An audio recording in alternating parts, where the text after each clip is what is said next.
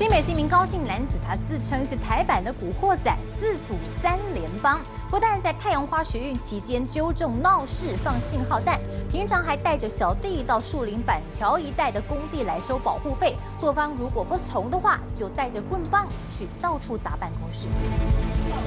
一群黑衣人骑机车到工地前，似乎在勘察地形。没过多久，一名平头男子搬来木箱，原地拆解，把木板一片片的放到工地办公室门口，企图点火。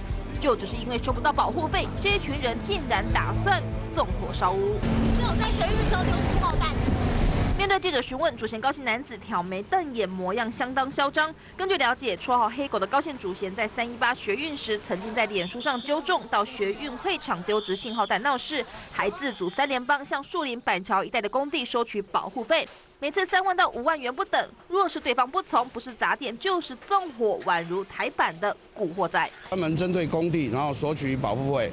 呃，如果不从的话，他们大概都以暴力的方式，比如说泼漆、锁大门。被害人不堪其扰，报警处理。警方大动作扫荡，一口气逮捕了连同主嫌在内的九个人，将他们通通移送法办。记者挂林卓天杰新北市报道。